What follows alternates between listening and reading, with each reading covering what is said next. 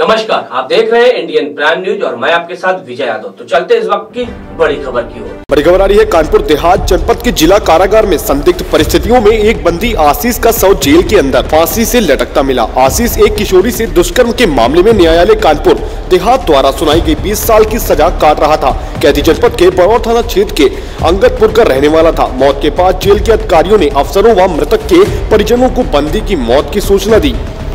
वहीं परिजनों ने मौके पर पहुंचकर जेल प्रशासन पर हत्या कर शव लटकाने का आरोप लगाया है। जैसे ही इस घटना की जानकारी पुलिस ने मृतक कैदी के परिजनों को दी तो उन्होंने वहाँ आकर हंगामा शुरू कर दिया। जिलाधिकारी के आवास को घेराव करते हुए परिजनों ने जेल अधिकारियों पर हत्या कर लटकाने का आरोप भी लगाया है।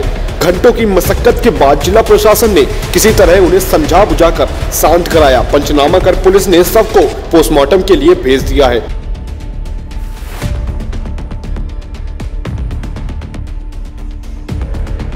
का मार डारो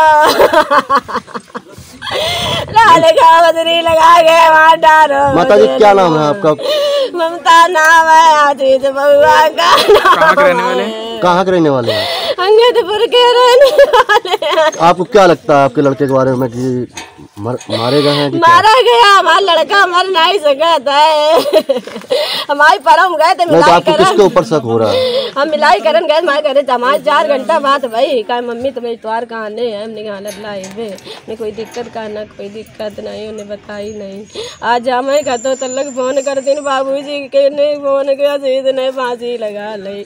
तुम्हें यो पता है तो तुम्हें का काहे पता तो इन्हें लगवा ली फांसी मरवा दो।